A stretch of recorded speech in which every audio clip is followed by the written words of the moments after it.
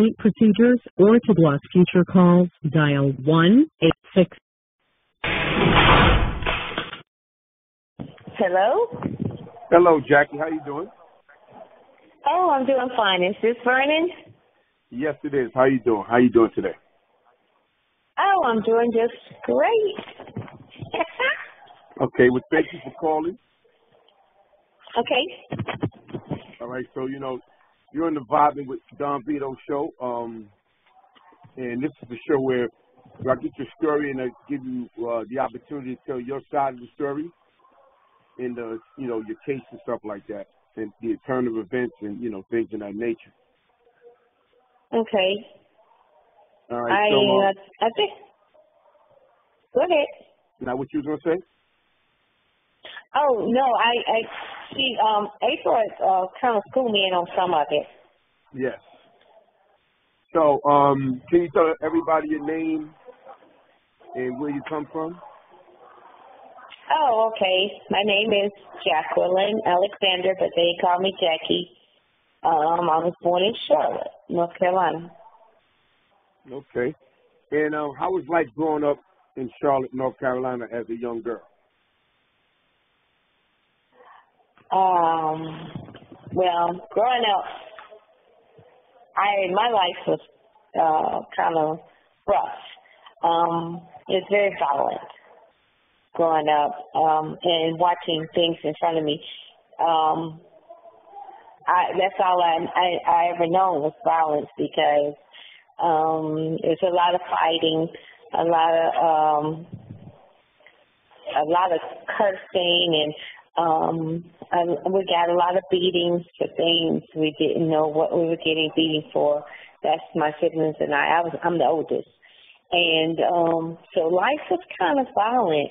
My mom's boyfriend or my sister's dad or whatever, they always was beating on her. So that's where the violence come in at. I, I witnessed that firsthand with them beating on my mom growing up.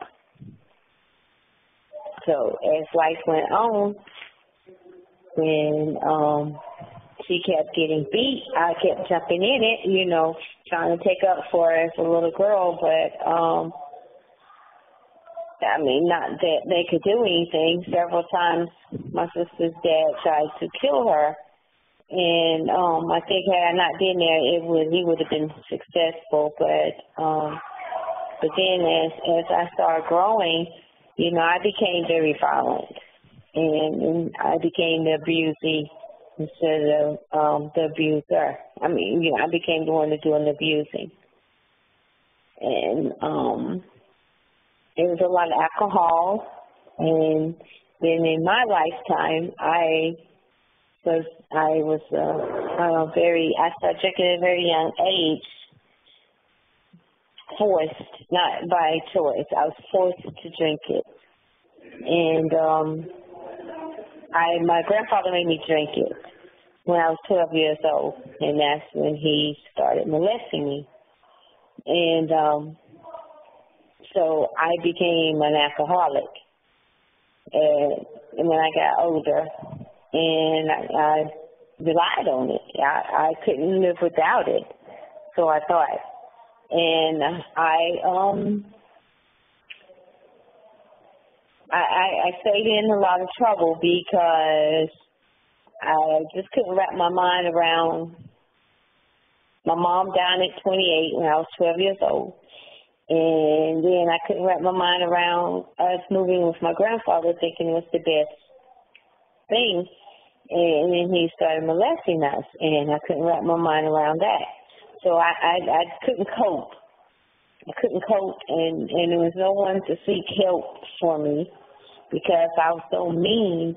No one wanted to be bothered with me, pretty much, and um, so I started to alcohol, and and it went from there to the drugs, and um, I I very seldom held down a job most of the time I was either selling drugs or I had someone to, to you know, provide for us, you know, a man to provide for us or whatever. And it was pretty rough. it was pretty rough. And I think I'm kind of like cleaning it up, but it wasn't really that clean. Mm. So you say your grandfather molested you? Yes. At what age did that start? 12 years old. Was your grandmother alive at the time? No, he was married to this lady who um she's no kin to us. He he married her. Um she had a son and um back then we didn't have bathrooms in that house. We moved from Kannapolis from Charlotte to Kannapolis when my mom died at twelve. When I was twelve years old.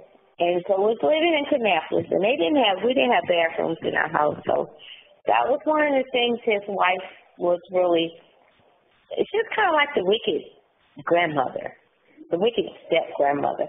Um, she would get mad at us if um, we didn't, like we had this old slop jar. And my brother was the one to take it out all the time and not her son. And so I had something to say about that. And I, my mouth was too sassy. And um so she and I did not see eye to eye. And um and several times we got into it. Um I was humming and singing the gravestone, the, the the prayer before you eat. God is grace, God is good. And she told me not to not to sing it to say so I hummed, and she hit me. So I took the plate of grits and hit her in the chest, and so it started from there. Um, cause I had was angry at me. My mom just died. We had to move in with these people, um, my grandfather, them, and her, and um, she thinks she's our mom or whatever. And um, we got to do this. We got to clean up. We got to do all the cleaning, and her son does nothing. And we shook her, cook a pot of beans at the first of the week, and expect us to eat it all week while she and her son eat chicken boxes and stuff like that. And we could, wasn't allowed to go into the refrigerator. So when the the thing with her and her son and my brother got into it about just taking this, this jar out, then we finally got a bathroom. Then she was saying that the bathroom would smell like pee. So she'll lock the bathroom when my sister and brothers and I we couldn't go to it. So we still had to go use the outhouse and use other people's toilets. And um, they would pump us with ca- castor oil to, you know, for cough. just so you got a cold. So we got to take this stuff and we have no bathroom to use because she's locked the bathroom. And um, she would call my sister all kinds of names and then I get mad. And so now I'm ready to fight her. And I mean, she she was just really, really wicked, and she was doing she was spend my granddaddy's money. He's a bootlegger, had pool hall, and you know, she would spend his money and tell him that you know we stole the money, and we're like asleep at three o'clock in the morning. We got this big, big strap coming across, and we don't know what we done, and it, it was constantly like that. I mean, practically every week. It, it was bad, and um, we say something out of the way and uh, her son go back and tell a lie, then they believe it. They believe it. And we were we were we were like um the baby kids, you know, and we were bad. We were saying every every name you could possibly think. Mm. So, um, how long did this go on? All the way until uh, I ran away from home. Um, we couldn't tell nobody because we were scared. Um, because I seen him shoot a man in his pool hall, and he, he they didn't do anything to him, the police or anybody, you know. So, and he had said if you know if I was to ever say anything, he would kill me. So I actually believed it. So I was scared. And um so it went on I was twelve and I ran away from home when I was like um fifteen. I ran away home when I was like fifteen, almost sixteen. And um that's when he and I really got into it because he didn't want to give me my um my my permit. Then when I had got my driver's license, he took that. He told uh, the people down there that I was a a reckless driver, and and so they wouldn't let me have my license or anything like that. And then it was my um my next to the, I'm, I'm the oldest, then my brother, and then it's my sister. It's five of us. But my next to the oldest sister, he started molesting her. And, you know, I ran away and he tried to make me come back. And so when I did come back, I had to come back because I was still underage. So I had to go back. And so when I turned 18, I went and got married just to get out of the house. It wasn't for love. It was just to get out of the house, just to keep from having to live there. And um or and thinking I was in love. Just just whatever the case may be, I was just ready to get out of there, however I had to get out of there. And then went home from from twelve to about practically eighteen. All right, so you got married, and then um, where did you live at? Same town? Same town, yes. Kannapolis. All right, so when you got married, did life change for you for the better? Um, no. I'm sorry, Vernon. This thing is so sensitive. I bent over to get tissue and it cut off on me. No, that's all right. You know, it happens sometimes. I'm glad you called back. I'm glad you called back. Yes. So I had asked you the question: Would your things get better when you um when you move? No, it didn't because my husband was on drugs and I didn't know that he was on drugs. I didn't know that he was doing drugs.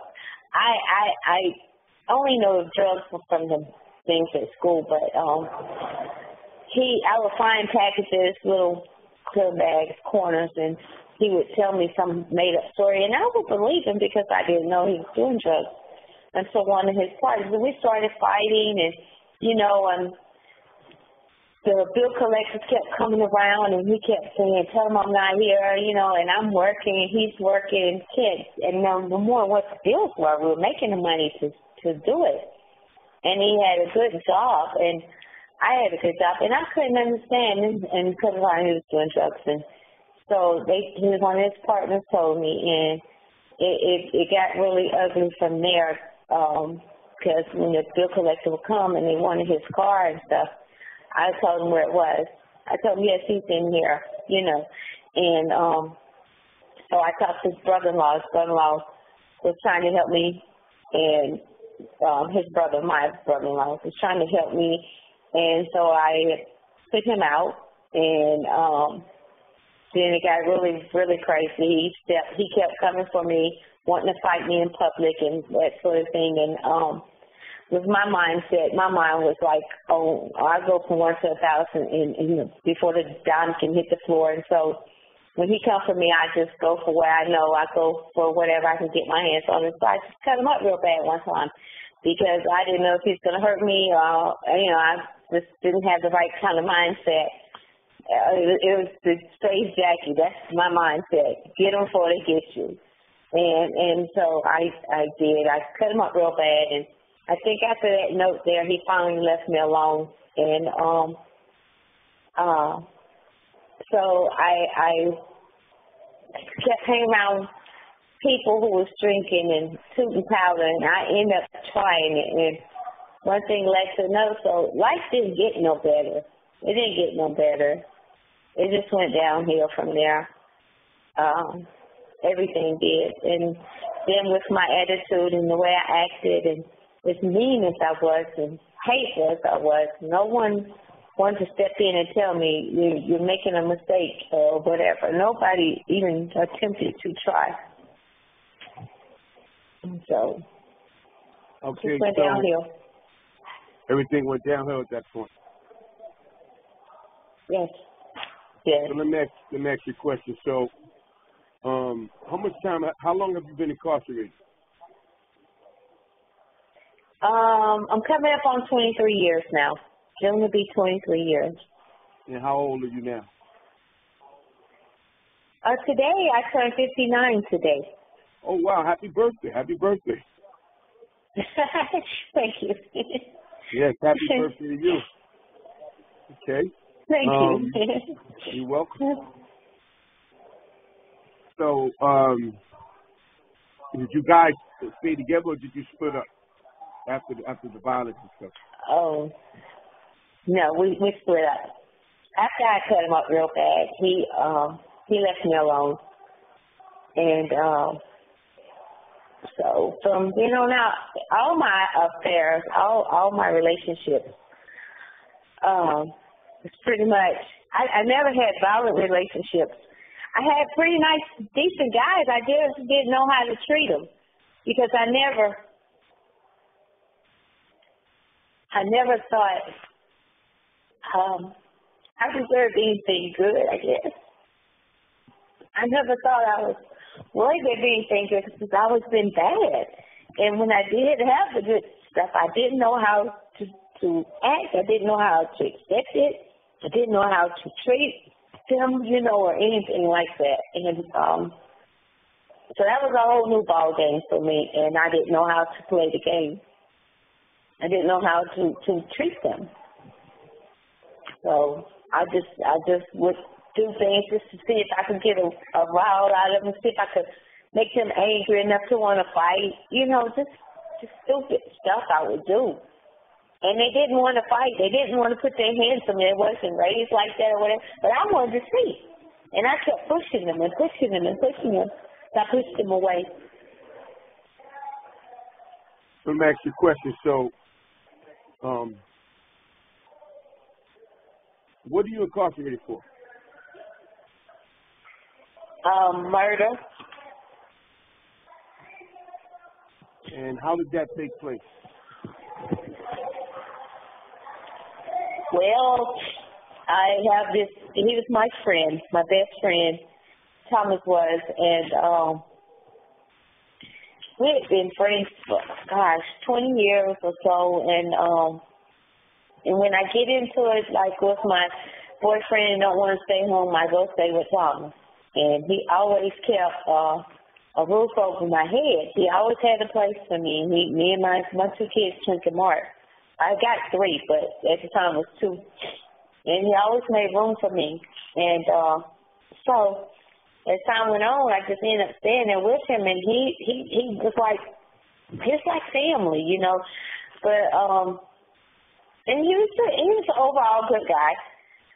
And uh so a lot of times um I knew Thomas liked me, but he was a shy guy I guess you, um, the only way I can describe our relationship, his and ours, is like Forrest Gump with Jenny. That's the only way I can describe our, our, our relationship with him. He was not my type. He was a quiet, nerdy type guy. And um he'll do whatever I say do. And I mean, and and he he was, but he never pushed himself on me or never tried to advance on me or anything like that. Um, but he he was he was just always there. He was always there. He was always there when I got in trouble, come and got me. He was always there with a roof over over my head for me. And so he would uh sometimes interfere in my relationships with guys and he'll, you know, tell them a lie or tell them I went somewhere with this person, which that was the truth, but at the time, but it, like I told him, he had no business. So we'll fall out over that, over him meddling. And um, at this particular time, so much was going on in my life that um, I, I think I was just at a breaking point. So much was going on. Um, there's a lot going on there. I wanted to. Um, I was back and forth. I had just got this job at Philip Morris, and I wanted to keep it. It was third shift job. And I was back and forth, back and forth to court for a whole week working shift and then going to court. And then my kids was at home. They didn't want to work. They was up age, not trying to work. One was, one wasn't. One didn't want to go to school. So I was battling out with them. And then I was fighting, trying to come off the drugs. I didn't want to do the drugs anymore. So I had a lot going on there. And so um, my boyfriend at the time, I told him that I wanted to go to church and get myself, give my life to Christ and just end this stuff. I'm tired. So he was like, well, wait till I'm off and we'll go when I'm off. So, but that weekend, I always kept children. I've had kids all my life on the weekends. But this particular weekend, I didn't have no kids. So it was my sister's birthday, June the 12th, and um, my daughter was over our house keeping kids. So I was like, why are you over there keeping the kids? Why aren't they over here? And so, so my my niece liked my co-defendant that was involved in this murder. So I asked Thomas to take me over. That's the one that died, the victim. I asked him to take me to to, to pick her up, and he was like, "I'm not going to." We were fussing about it. He didn't like my son and my daughter's friends because they were, you know, little thugs. He didn't like he didn't like them, and um, so we got a little argument there. And but he wanted to took me, and we come back, and the argument started back up, and I just ignored him and I, I picked up some dope on my way out. And so later on that night, I couldn't text me, take you know, take Shauna home, and that's when we started arguing. And we started uh, the argument led into me hitting him. And when I hit Thomas, he hit me back, and he's never ever hit me back. And it kind of stunned me, it kind of shocked me, and we started fighting. He he had slammed me on the floor, so I grabbed these little scissors. They're just little scissors that kids play with. It, it's that cut their little paper dolls out, something like that. And I grabbed the scissors and I started stabbing him and um or in the chest, trying to get him off of me. And actually, Derek, my co-defendant, came in and he was pulling him off of me. My niece stayed out on, on outside in the yard, and um he came in and so things got crazy and we started all three of us fighting and um Derek Thomas was on top of me. He ended up back on top. Derek went in the uh, kitchen and got a frying and hit him upside the head with the frying pan. And that's when I saw Thomas' eyes roll in the back of his head. And um and eventually he ended up dying and we tried to um, cover up the body by burning it and leaving it in the trunk of the car burning. And um, they came back to the house that morning because that's where they lived. And um, so, and then went from there. We went to jail that day, that morning. And um, my co-defendant told them I did everything and I I hit him and all this in the head and everything and everything was put on me and then they kind of the the the system kind of put it on me too because they said I was the the adult. Derek was 16 at the time, and I was like, it doesn't matter. He's a thug, but it didn't matter. They they I already had a record anyhow, so they didn't want to hear anything I had to say. So I was the victim again, but which I was wrong with my part I played in it, and I um, tried to write a letter. I wrote a letter, tried to get it to his people, and tell them my part in it. I, I was wrong for what I did, and um, but they they never I never heard back from them, but um, we did a documentary uh, I think it's like in August of 2008, if I'm not mistaken. And I saw Derek's part, and he pretty much blamed everything on me. And I was like, oh, okay. Nothing I can do about it. Nothing I can do about it. So you said he did a documentary? I did in 2008. I think okay. it's in 2008.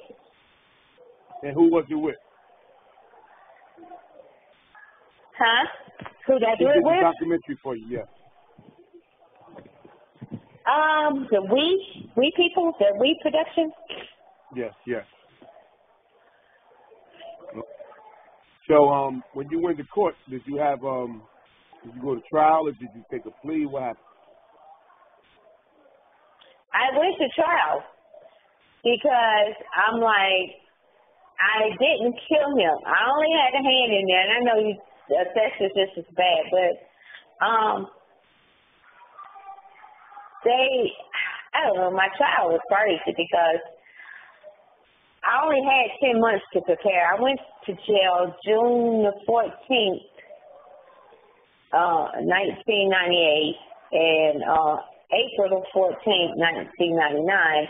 I was sentenced. Everything was done quickly in 10 months with a capital murder case. And um, so our heads were spinning and nobody knew what was going on. And they never would change, you know, the venue. And it, it was a little town. And um, so in court, in court, um, I mean, they threw up my my past. Um, they said stuff that happened at the crime that um, they said I did, which I didn't. And the things I did do, I told him I did. Um, so I couldn't, I just couldn't see me being charged with murder. Um, but uh, sexually, yes. Helping, yes. But I had to take it, take the rap, and it was okay because there wasn't anything I could do about it at the time. And they said it was going to appeal. And I told my attorney, I had two attorneys, and I told the one everything because that one, he never even heard anything that happened. It was like, uh, just get this over with, basically. He never even listened to anything that I had to say or tell him what had happened. But, um, yep, he ended up charging me for first degree murder. And I was facing life or the death penalty. You said you were facing facing life or the death penalty? Or death, yes. It was up to the jury. And they gave you life. Life without parole, yes. How much total time did they give you? Life without parole, and uh, like two weeks before my trial, they came and served me a um a robbery charge. Um, they said robbed him, um, which I didn't. That was Derek that did it, but he told him I did. Um, I don't know how it came about two weeks before after being in there ten months, but um, they came and, and my lawyer told me they got to have a motive. They got to find a motive for for to blame murder on. Got to have a motive, and that's their motive. So anyhow, they brought that up there. So I got, I want to say 17, like close to 17 years, life plus 17, and they gave me like 19 months for burning of the body because I did light the lighter. Like I told him, he poured the gas, I light, I, I lit the lighter. You know, I lit it. So um, that's what I got. So you guys burned the body in the trunk of the car. Yes. And Yes. you, did you hide the car, or how did they find the car? No. We left it on the bridge, scared. Walked back to the house, tried to clean up the mess, and it was like, you know, whew, it was like blood everywhere, and uh, it was kind of um, kind of hard to clean it up, you know. Yeah. How much time did your your your co-defendant get, being that he uh he put everything on you? Um, he got something at 25 years, so he did like 19. He did like 19. He's out. Wow. Do you guys communicate at all? No. Uh, my daughter seen him a couple times in the stores or whatever, and um, he tried to avoid her, but one incident she made him speak or whatever. I told just let it go, just let it go, you know, because uh, in the end of the day, at the end of the day, it's all in God's hand. Everything is. It's just the what's done is done, and all we can do is make it make things better of worse. So don't don't make him speak. So um, since you've been incarcerated, what have you done with um with your time while you've been in jail? Oh gosh, everything. Um I've taken a lot of classes, a lot of self help classes. I even went to mental health. Um, because back in the day they uh used to tell us mental health was for crazy people. So I always thought I ain't going on mental health. But I went. Um, one of the social workers picked me out, and um, she made me go. She said I need it, and I did. And so I, I was able to deal with the things that was, you know, that had that had a hold of my life, and I couldn't let go of. And uh, one of them was the molestation of my grandfather, and my mother's dying and uh, the abandonment, nobody being there for me. So um, I was able to deal with that, and I did. Um, I I started my AA degree. So I went to Troy. I took a bunch of uh, computer classes, and um, I got like 11 more classes for my AA, and I've taken um, all the cook school classes. Uh, I've been the Kairos Rector. Um, I've been the president of Women's Service Club. Um, I've been uh, like the role model inmate. Um, um, play sports. I've been the coach of all of it. Uh, Bible studies and team, choir. Um, and uh, pretty much I've been in all the self-help groups, classes they've had. Got a slew of certificates uh, on my job. I'm on now. I'm on the uh, apprenticeship now for the enterprise uh, where I work. So uh, I mean, I've I've done a lot, done a lot, got a lot of lot, got a lot done. It sounds to me like you uh you matured and you turned your life around. Yes, yes. I have. Um I don't know, I, I would say that I was like I had read something one time and it was something about when you're being molested or raped, uh your life story's already been told. But I guess it's all the choices you make, and I I I could have straightened it up. I could have done better, but I didn't. But a lot of times I was um I I mean I just had the pain. I just had so much pain and so much hurt from my mom dying with five kids and um and then I didn't have a good experience with God because my mom when she was sick, this pastor making all this stuff up, selling it to her for a lot of money, and um he swore down he was, you know, the healer. And my mom was dying, and he made a move in his house and was taking her money. And he didn't like me. He didn't want me to touch her or anything. So he, they we would sit in church all day. I mean, so I, I really was really angry with God, and I didn't want to have anything to do with God. But my pastor now, he came to me and he he just he he went through everything and he saw what I needed and he um he said she needs to be loved. She's never felt love. And I I hadn't. I just thought love was violent because that's the way it was, you know, like that's what it was shown to me. And so uh he came and he just just just showed me love. And he was just there for me through the good and the bad and the ugly him and his wife. And um so yeah i i accepted jesus. And i um my life has been a turnaround. Um well i used to hate i don't hate people anymore. I don't want to fight people anymore. I don't want to hurt people anymore. I don't I don't like that stuff anymore. That that I was that is what I'm so totally against, and I just hate seeing it in the young girls now. And it it just breaks my heart, and I just have to look at them and say, "I was just like that," and I just have to thank God for a change. And I, I would never go back to that life ever, ever, ever again. That's good. That's um that shows growth and God is everything.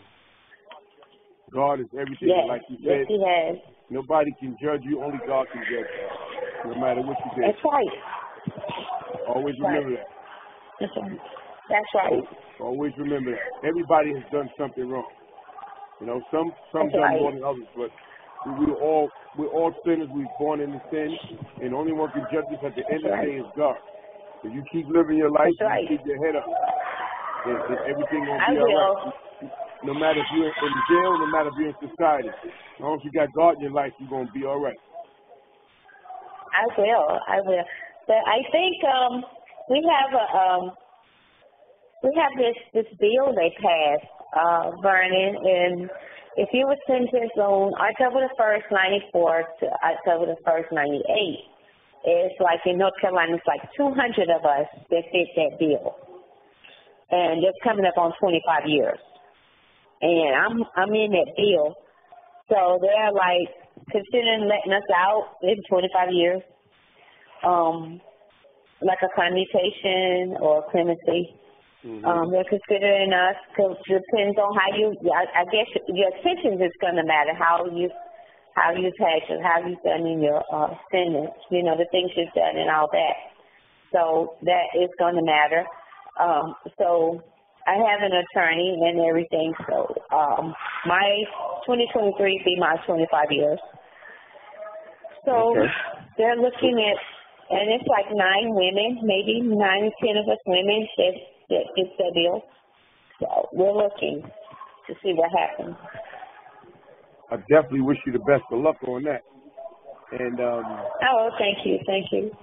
this interview right here would definitely help because people get to hear your side of the story opposed to what they read in the newspapers and stuff like that. Yes, yes, yes. Also, I would like to I just have some. Now, go ahead, finish. Oh, I was just saying, I just have so much I want to get back to uh, society. Um, one of my best friends is like a sister of mine. When I do get out, first thing I'm doing, it's not like, oh, you know how people get out. I got to get myself together first. You know, we already said, when I get out, be it that morning I leave, 12 o'clock, don't take long to get home. We're going somewhere, and she said, you finna give your, you finna give your, you finna speak to some people somewhere. So we got a lot of them things, a lot of them um, engagements set up for uh, when I do get out, and um, that's one of the things I want to do is try to help those that that may feel like you're not loved or or it's not a way out of being molested by someone you love and trusted, and and that there is a better way, and to let them know that there's a better way. So that's one of the things I want to do is uh, helping giving back to my community.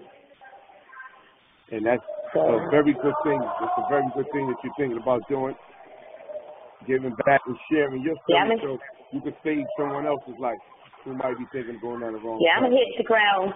I'm gonna hit the tree where I'm running. I'm not gonna wait like wait till tomorrow. No, we're gonna do it that day. Like you said, we're gonna get busy that day, and we are. We're gonna started in.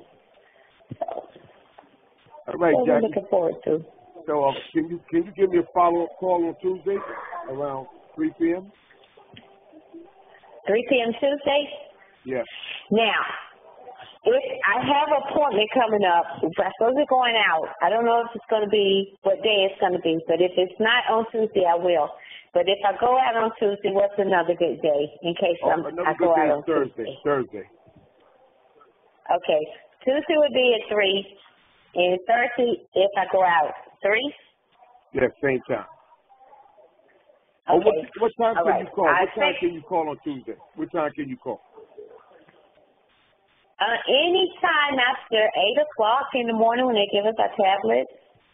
All right. So how about you call me Anytime one after o'clock? 12. How about one o'clock? Okay, one o'clock is fine. You call me one o'clock I on, call it on, one. on Tuesday, and and we'll talk we'll talk more. All right, all right, all right. Thank you Okay. so much. You're very welcome. yeah. Thank you for coming to the Vibe with You have 60 show. seconds remaining. And on Tuesday, Oh, once again, that we'll was talk time again. just right. Right on time. All right. Thank you, Vernon. Once You have a good happy day. birthday. Happy birthday, Jackie. Oh, thank you, thank you. and have a I'll good talk to you day. next week. You too. All right. Okay, Tuesday bye-bye, at one. Jackie. Okay. Have a good Bye one. bye.